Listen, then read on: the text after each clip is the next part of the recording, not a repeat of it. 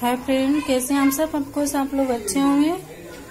तो प्लीज़ मेरे चैनल को लाइक करिए और सब्सक्राइब करिए और बेल आइकन का बटन प्रेस करिए ताकि जब भी मैं कोई नई वीडियो डालूं तो आपको नोटिफिकेशन मिले।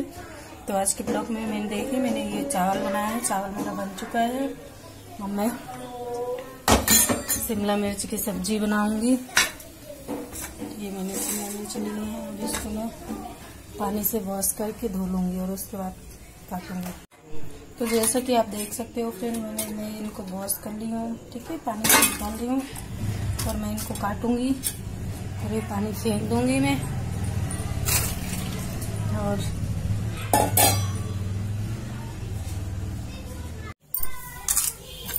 इनको काट रही हूँ।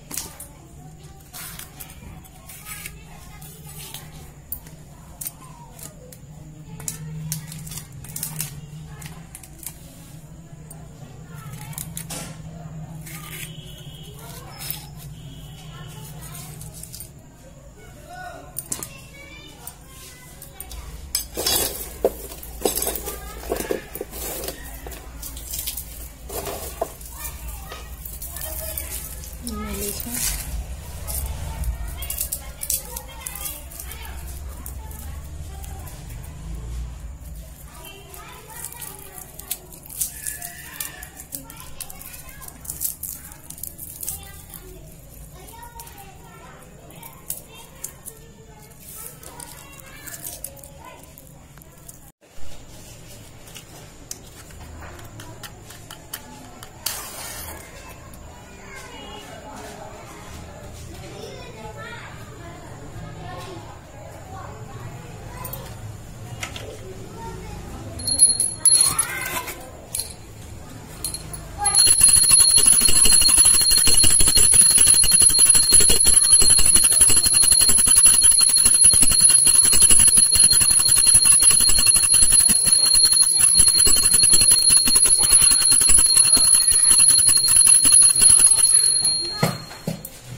No.